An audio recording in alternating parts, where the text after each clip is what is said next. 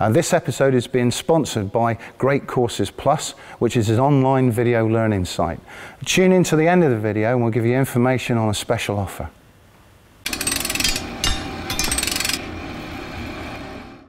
We're in the uh, Second World War Hall at the Tank Museum, one of the most popular galleries for visitors and one with the, some of the most iconic vehicles. Um, the hall was last displayed in 2009 with new interpretation and then in 2017 we added the Tiger display. Time's now come to redevelop the whole space and that's over 3,000 square metres of, of exhibition gallery. Uh, we're de developing the hall in two phases. Uh, the first phase will be delivered next spring for 2020 and the following phase, phase two, in 2021. Back in 2017 we carried out a, quite a comprehensive consultation period with visitors, staff, volunteers, school groups, uh, stakeholders really for the museum. Uh, and the results of that, those surveys showed us that people were very interested in learning about the battles and the campaigns of tank crews during the war. Um, and that's what we focus the new exhibition on and what, what it's been designed around. So the curator, the head of collections, our historian, got together to choose the vehicles and the battles that are going to be used in the exhibition. And the first phase will go from the Battle of Arras in May 1940 right through to the Normandy campaign in 1944. The whole design process has taken the best part of two years.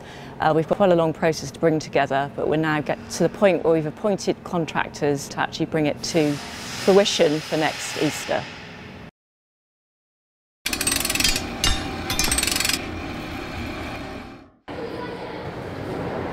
As you've probably gathered by now, we're going to carry out quite a lot of work um, on the redevelopment of the Second World War Hall, which will, in, which will involve uh, moving an awful lot of vehicles, in fact nearly every single one in this hall. And that job is my responsibility.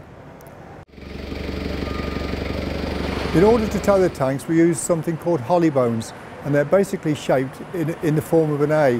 At the two points of the A, they go on to the actual tank itself that's being towed, and at the point of the A, goes on to the towing vehicle. So wherever the towing vehicle goes, the other one follows. And a slightly shorter route, unfortunately, but um, that's not a problem once we get used to it. Um, there are two sets of holly bones available. There's 72 tonne, which are great big heavy things, and 30 tonne, which are the smaller medium tanks. We have four vehicles available to us. Um, our favourite is the Centurion ARV, which is the armoured recovery vehicle. Um, that is probably the best bit of kit you could possibly have. It it's, uh, does everything at a very slow pace and, um, and also is very effective. And we found out that other organisations around the world still use these um, instead of um, more modern vehicles. The second vehicle available is the Chieftain ARV. It's not very good in the halls, but it's a good vehicle for towing in a straight line. Um, it has what they call a centrifugal clutch, and until that's engaged, the tank doesn't move very far, so it's very difficult when moving in confined spaces. The third option is the uh, CRARRV, which is a modern Challenger-based vehicle. Um, again, this is a very smelly, noisy thing, which we don't like to keep in the hall unless we absolutely have to, but it's great for towing up and down the road. And this year we have a fourth option, which is a small electric vehicle, which weighs four tonnes and is capable of towing 25 tonnes. Um, it's uh, going to be a big help to us because it'll save us breathing diesel fumes in while we're doing this big move. We always have to be aware of the fragility and the age of the vehicles in the World War II Hall. So when we tow any of them, we have to be really careful. Um, we, we have found out from last year that there's um, an aid that we can use, and basically it's an 8x4 sheet of plastic which is oil-based. So when the tank is sat on these sheets, it slides very easy on the floor. What this enables us to do is to be able to do tight turns with the vehicle on the spot. Uh, and we found that we can move Tiger or, or Jagdtiger quite easily uh, using these sheets.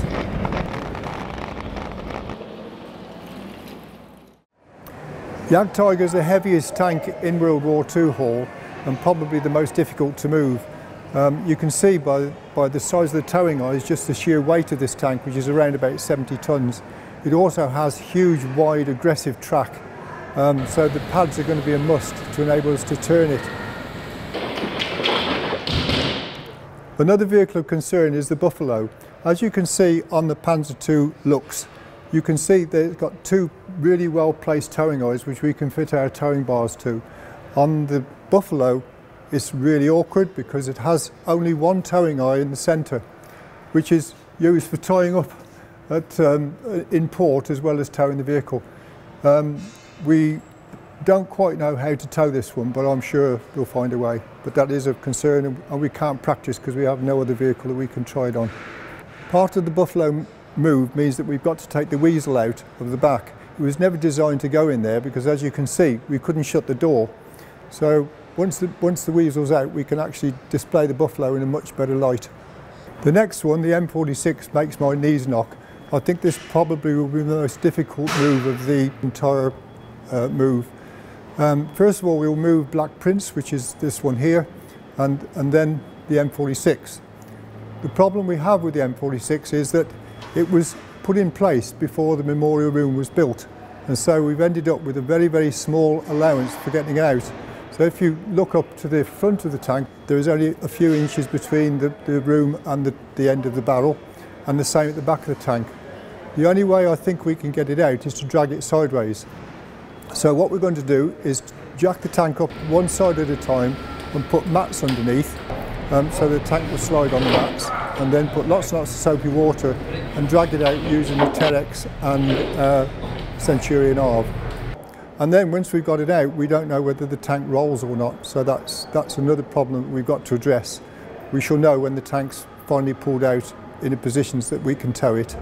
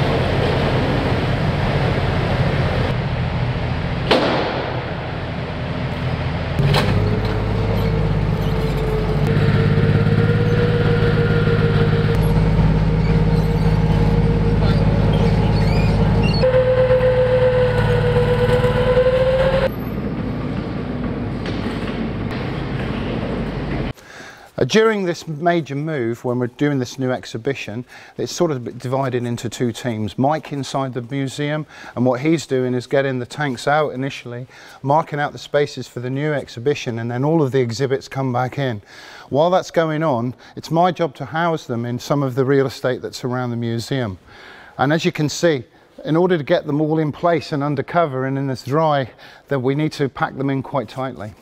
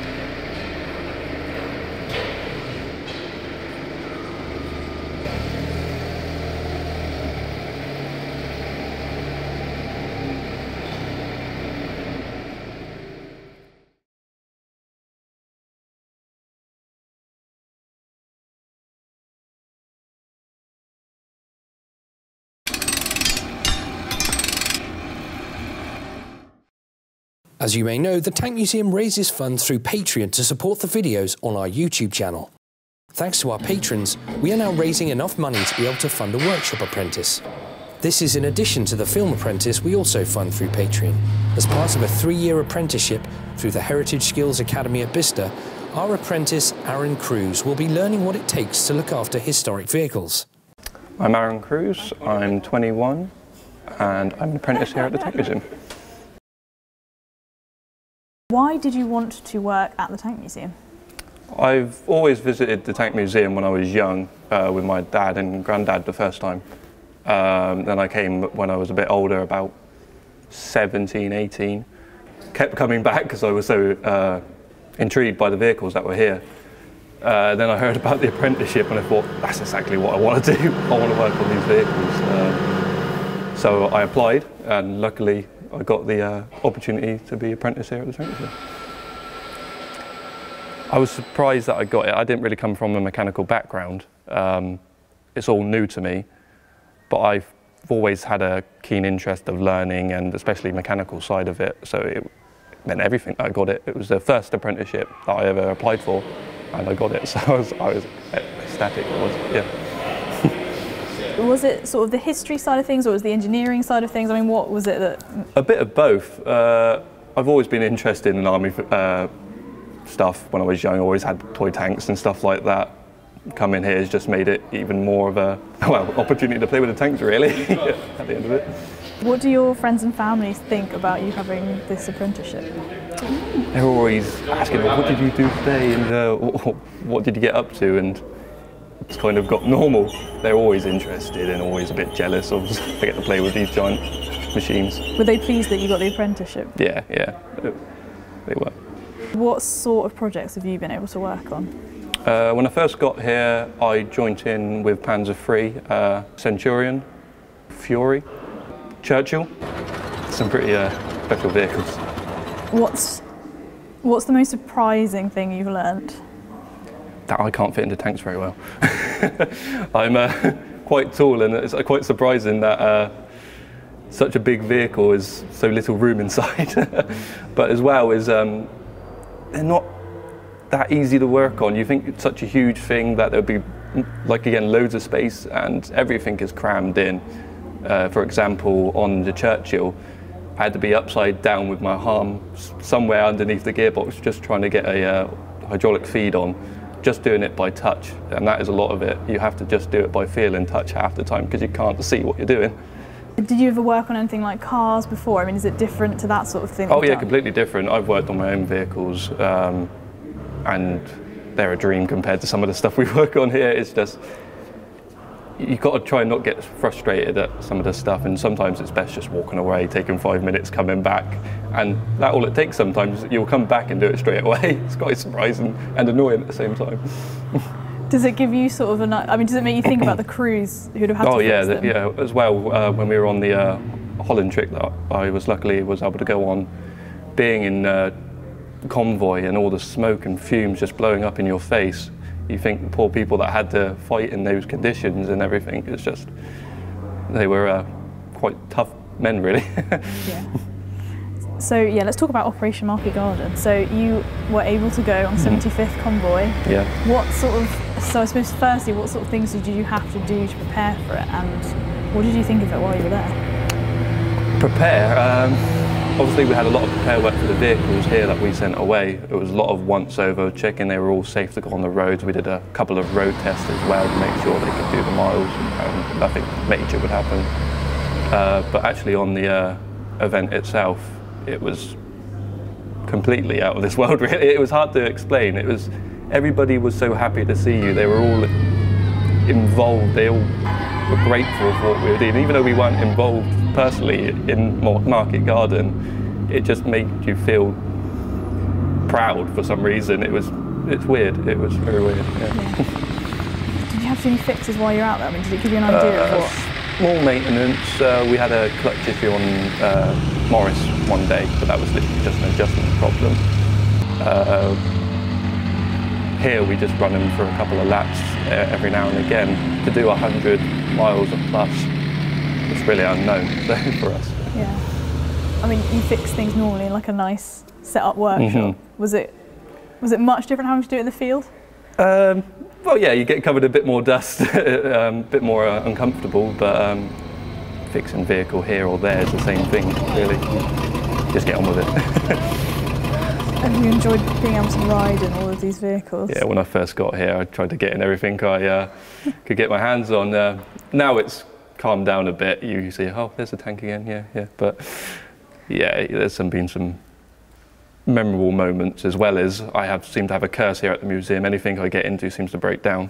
But it's one of those things. People tend to uh, keep me away from their vehicles. What's the best tank you've ridden in? Best tank. Um, best tank.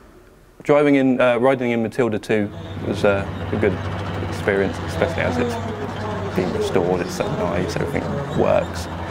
Yet again, I have a bad reputation. It had a little bit of a gearbox problem whilst I was in it, unfortunately. But uh, uh, Stuart, another tank that is a very nippy and fun tank to ride in.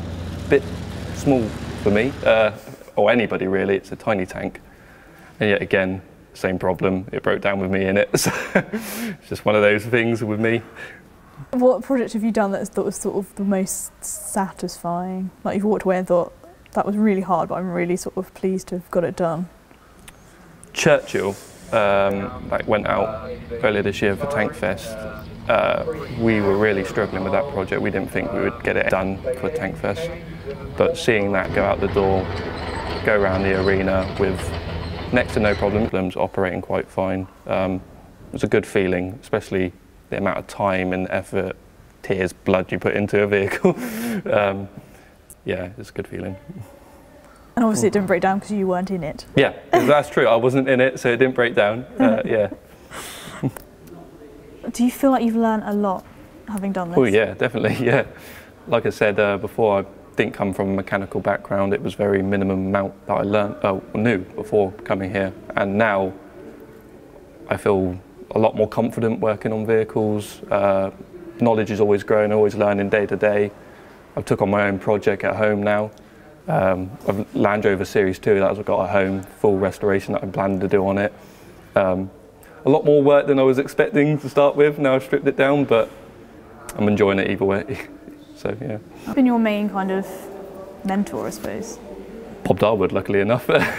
um, yeah, working with him, you just surprised the amount of knowledge he knows. He just keeps coming out with stuff, and vehicles-wise, his knowledge is amazing. It's like, how do you know that? how do you keep that information in your head? It's amazing. But, yeah. Hopefully, one day I'll be as knowledgeable as he.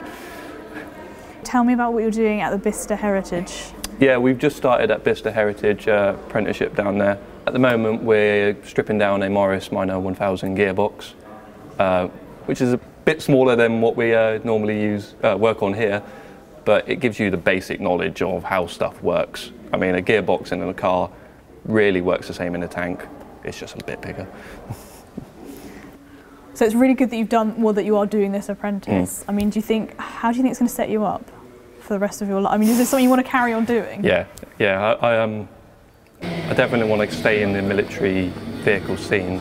I mean, I wouldn't be doing this apprenticeship if I didn't want to. Really, um, it's very niche. So uh, either stay here if they accept me, or uh, private, or home collection, maybe. yeah.